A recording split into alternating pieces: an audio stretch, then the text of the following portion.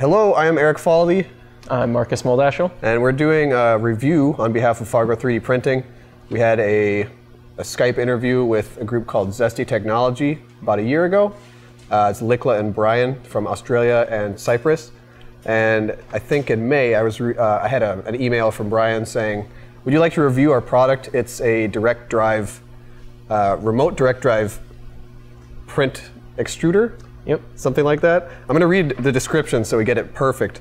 Uh, the Nimble is a remote direct drive extruder. This means the stepper is split away from the extruder, extruder itself. This removes almost all the weight from the extruder part, making the Nimble weigh less than 27 grams. The Nimble is powered via a drive cable that transmits the power of the stepper directly to the gear system inside the Nimble. And uh, the gear, the gear ratio is 30 to 1. Yeah, it makes So, sense. um, I think we'll just jump right into it. Uh, we're going to talk about firmware Yep. a bit, and Marcus is going to start off with that. So, like Eric said, first of all, we're going to start off with firmware. So, there's a couple major things you need to change. Like he was saying, there's the gear reduction. So, we'll need to change our steps per millimeter. Then, we'll need to change the amps and the acceleration and jerk value. So, this is very similar to if you've already done uh, different things in your firmware, such as changing steps per millimeter, inverting axes, or anything like that. And if you haven't, it's something very easy to Google, and there's plenty of tutorials and things like that. And If not, if you just scroll through your firmware, you should be able to find these settings fairly easy. And all the values you need to change it to are already on the Zesty Tech website. Yeah, and in my case, I'm not as familiar with firmware, so Marcus actually had to help me quite a bit. I was working on the Alunar M505, which is the Anet A8 ripoff, which is a Prusa clone. Uh, and he was working on the Orion Delta uh, SeeMeCNC printer. And neither of those printers have uh, physical uh, potentiometers, which is the way you can change the stepper voltage. Uh, so you have to do it through firmware, which I think I could do now after working through it once, but the first time it's a little scary, so uh, it's not the end of the world. And I think uh, at first I did not know that you had to change that because it said can and should, or because so- you know it, you Yeah. can find it on there. They have some documentation about how stepper motors work, and it made a lot of sense why you have to go with a lower voltage.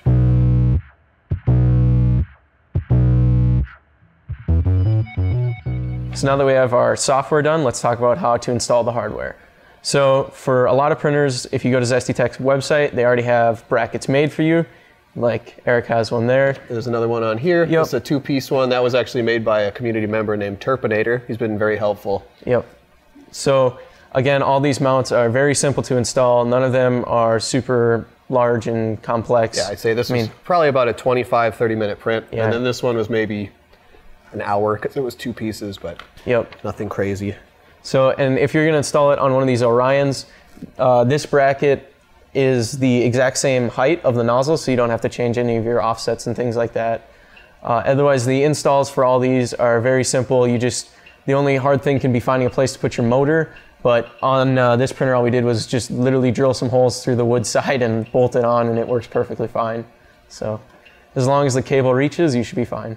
Yeah, and if uh, if you're having a, a printer that has a really specific size constraint, I'm not sure I want to say that exactly, but uh, you can flip it. It is ambidextrous, so it seems confusing until you actually grab it. And it's just like, oh, okay. Just you pretty much take the the drive cable out and then flip it over, and it's it's really it. And obviously, you can't do that while it's installed. You have to do that before installation, and you would know because the bracket is going to be one way or the other in most cases. Uh, also, the cable length is adjustable, not on the fly. You'd have to buy different ones. We have the longest one that's available right now. On the website, it said there was a 120. Um, this one is a 95 millimeter, um, but we probably would have been fine with the 75 or 65 millimeter. Yep. So it's it is something you, you'd want to measure. And then if there's a printer that they have already used a lot with, they'd probably have a recommendation. So that's all stuff you can change when you're doing the checkout on their website.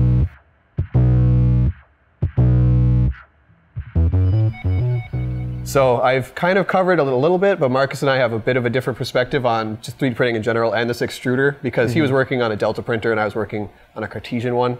And uh, I, I was actually in the Discord. There's a Discord chat for all the users of this device. And it's really helpful. I'd never used Discord before, otherwise, I uh, probably wouldn't have used my real name in there. So, hi. Uh, but uh, it, it's really cool because you can actually talk to uh, Likla or Brian in there, and the fact that they are on different sides of the planet, it means that you're getting a pretty good chance of talking to one of them anytime you log in. So if you have any problems with installation or with the f- firmware settings, um, I went in there a little bit and had some some problems. Or they see like bad retraction and say like, oh, there was a there was a manufacturer error. We're going to send out a new cable to you. So that was something they did really well. The customer service was just top notch, A plus, uh, really quick. You can private message them if you don't want to publicly post. Because I had a couple things where I'm just like, I, I should probably know this, but I don't want to embarrass myself in front of everybody. So it's it's uh, it's pretty cool. You can see what other people are doing with their Delta printers if it's a kit printer that they're putting together. So that was really interesting to see what people are doing, like liquid cooling stuff. I don't understand at all. And uh, yeah, there was actually a quote because someone was saying, I was going to go with your competitor. There is a competitor out there. You can find them pretty easily. But uh, Likla said uh, to that effect, someone, someone said, uh, are you guys just trying to do better than them? Or like, what's, what's your take on that? And Likla said mm-hmm. something that I really liked. He said, uh, we look at what and how we want to be, not who we want to beat and that's uh, zesty underscore likla. And then uh, in there, you can also get ideas for upgrades and updates for firmware settings and recommended uh, slicer settings.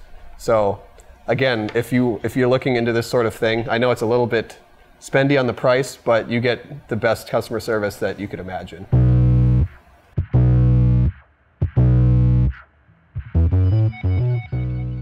So let's move on to what y'all want to know the benefits of this extruder. So this extruder is a great replacement for any machine that is already or already uses a Bowden tube. So something like the Creality CR10 or these Delta printers are really good examples of printers that already use uh, Bowden tubes.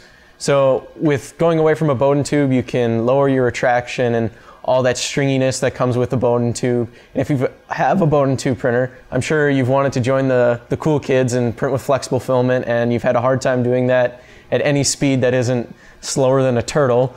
So with this printer, uh, I wanted to test that out and see how much better it actually is. So uh, stock printer, stock SeeMeCNC Orion with a Bowden tube, I was able to get decent, not good, I won't say good results, at 20 millimeters a second with um, some TPU uh, flexible filament. And then switching over to the Zesty Tech, I was able to get that up to 50 millimeters a second with much better results. Prints look perfect. So it definitely will increase your printing speeds and let you print with more um, exotic filaments. So that was only TPU, nothing like a NinjaFlex, which is way more flexible than that. And on the note of filament, this has a very easy to load filament path. So if you're used to like a monoprice V2 or something uh, of that nature where you have to kind of guess and hope that you're getting the filament into the uh, thermal barrier tube, this you can see the thermal barrier tube. You don't have to mess with any of that. It it goes in every time and you can yeah, this see is, that. This is pretty much it. I mean, this one has a little bit of uh, PTFE between yeah. where it starts at the top and then where the uh, mm-hmm. where the actual heat elements are. Yep. But in my case, I was using a Prusa clone, so it just goes in there. You hope that it's not going to start curling out the side of the fan or something. So yeah. that was uh, one thing that I really enjoyed. And then another thing on the Cartesian side of things uh, I ended up losing my extruder cooling fan. So I think that caused me a few problems. So I think I, I could probably get it back on there with just some slight adjustments and maybe like make a little little cage for it. But you do end up taking off a lot of things like the heat sinks, the aluminum right. Aluminum bar. Uh, it's really made a lot lighter. It didn't really add to my experience the fact that it was lighter because I'm not trying to print, you know, however fast. Yeah. But I was finding problems with stringing. I think a lot of that is probably due to the loss of the extruder fan and just I, I, I got it pretty well under control. I had to change the retraction up actually. So I'm going to think that in my case, it's maybe not going to pay out that well, right. but I did I did my test here. This is about an 18 or 20 hour print. It's the Screaming Sun. I've done this before, um, so I pretty much got about what a stock print would look like, which was minus a tiny bit of stringing in here.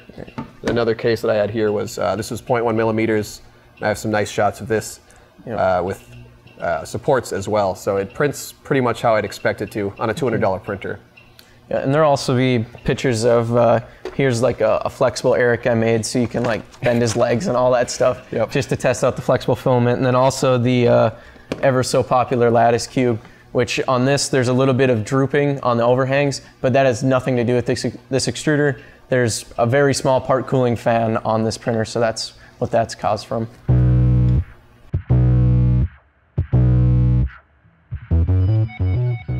So we're going to start wrapping up our review here. I'm going to talk about the pros that I saw. Uh, in my opinion, the customer service is some of the best you're going to get. I mean, the fact that they're always online is really good, and they're really nice guys. They're willing to design things for printers that there aren't things for already, or fix things that exist already and just need some work.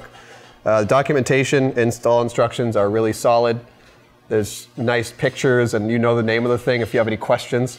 So I know that it's the breech block, and uh, the quality and design of the build is really good. These are printed, I believe, through Shapeways. The uh, the exterior parts, the inside is injection molded, I believe. It used to be 3D printed, but not anymore. So, and then Yeah. uh, So- from your experience, what did you Yeah. see? So me, I was really, in, I was super interested in this because it's something different. I always like to do things differently. Um, so this, you, most printers don't have a indirect to direct drive. So to me, that's that's a big selling factor. Just that it's something different that no one else has. Remote direct drive. Yeah, remote. That's fine. I liked your description. But um, another thing would be uh, it's lightweight. So if you had just a very heavy extruder on there, like a, a bigger stepper motor, uh, so if you had problems with, say, your stepper motor skipping steps, so you upgraded to a bigger stepper motor on your extruder and now it weighs a ton, this will get an off-site remote direct drive. Uh, and with that 30 times gear reduction, you won't have to worry about the power of the stepper motor. It lightens your whole carriage and all that stuff. And then also that it's very compact. So if you wanted to go with dual extrusion, you can put two of these next to each other and get a very compact uh, carriage. That's where the ambidextrous uh, Yep. ability comes in too.